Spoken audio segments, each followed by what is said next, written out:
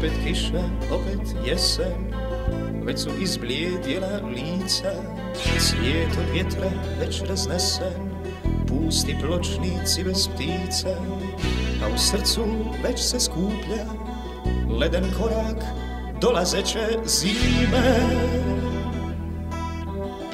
Ilicom do malog placa, pored kina iza mraka, preko parkova gdje nema više malenih dječaka, ispod pokislih platana, do tišine nekog malog stana.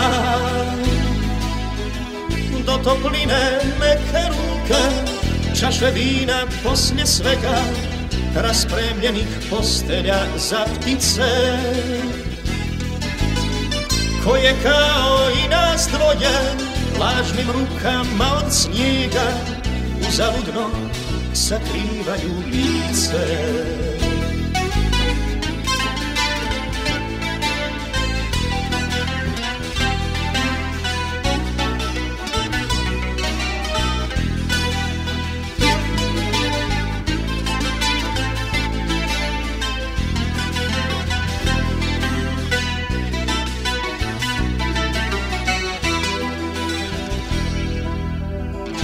Jutro opet nakon svega Do kafića poslije sedam Topiti laž od noći U dubini koju ne dam Nikom od tih što kraj mene Prolazeći ostavljaju sjene.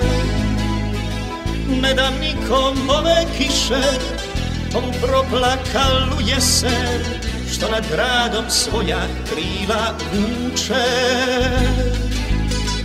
Ne dam nikom ove kiše Ovu zagrebačku jesen Što u meni svoja kriva vuče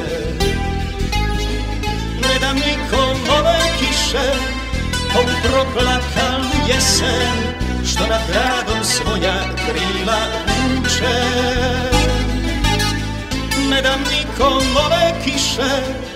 Ovu zagrebačku jesen Što u meni svoja krila vuče